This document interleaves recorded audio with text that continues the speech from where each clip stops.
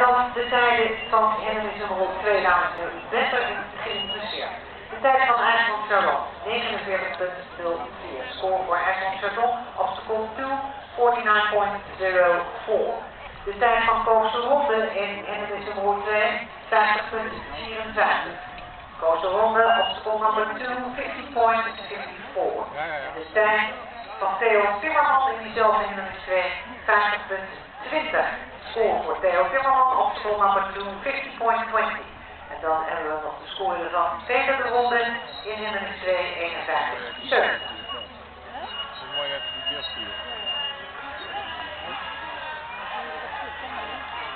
liggen echt super dicht bij elkaar. Het wordt alleen maar spannender en spannender.